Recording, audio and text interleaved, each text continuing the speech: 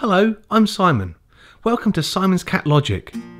We'll be finding out from a cat expert why cats behave the way they do. Today, we're talking about water.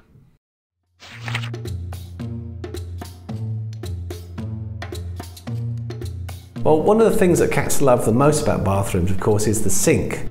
It's a lovely, smooth area, a little like a little box you can slip into. And my cats are always curled up in my sink, fast asleep.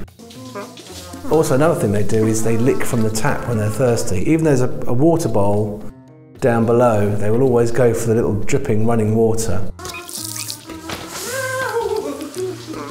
And all these little elements gave me the idea of the cat playing with the tap and then turning off the, the cold water in the shower, which led to poor old Simon getting burnt. Well, all of the houses I've lived in, I've always had bad plumbing, I suppose. Cats are often fascinated with running water. In the home environment, some cats prefer a running tap, for example, or maybe a drinking fountain. This makes sense from an African wildcat perspective, where they will naturally drink from fresh running streams rather than a stagnant pool. Many cats will actually drink from ponds or puddles outside, but there are things we can do to encourage cats to drink in the home environment. So looking at the type of bowl that they drink from, um, cats generally prefer ceramic or metal bowls compared to plastic bowls which can sometimes taint the water so it tastes different to them. Cats also prefer a bowl that's wide and shallow, so their whiskers aren't touching the sides. If you have a diabetic cat, which can be quite common in older cats, they actually have sore or sensitive whiskers, and this is more important for them to have these wide, shallow bowls so their whiskers don't touch the sides. Many people feed their cat next to the cat's water bowl, and even using those two-in-one bowls. However, cats would much prefer to have their food bowl away from their water bowl. This goes back to African wildcat behaviour, where cats would naturally eat away from their water source to avoid contaminating it with the gut contents of their prey. Whilst the cat is drinking and having its head down, this is quite a vulnerable position for a cat.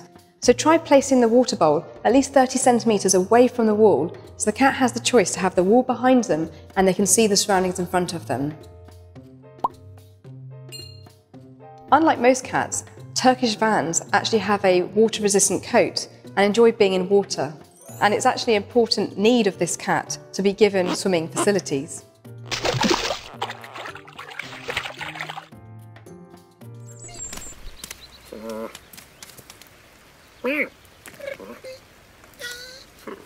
April showers, that comes from Teddy. I got him as a tiny rescue kitten and he had long, long fur. And I've never had a, a long haired cat before. One of my memories of uh, Teddy was, was it was raining outside. All the other cats had come in because they're sensible, but Teddy, having this long fur, was sitting on the fence and it was raining and he was just sitting there completely happy, oblivious to the rain. So that's why the kitten loves water in the films because um, Teddy, who's a, who is the influence of the kitten, loves the rain and loves water.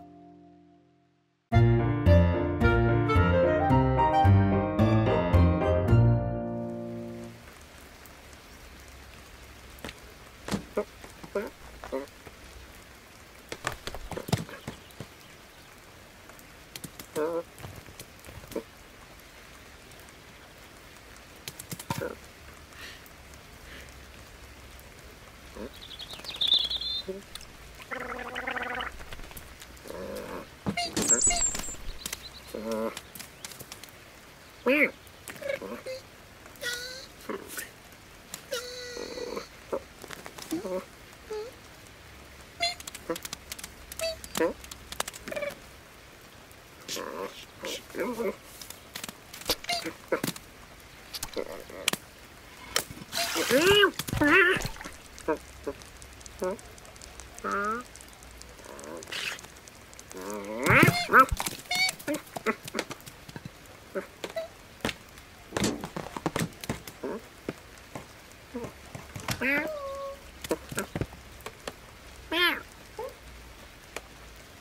Oh.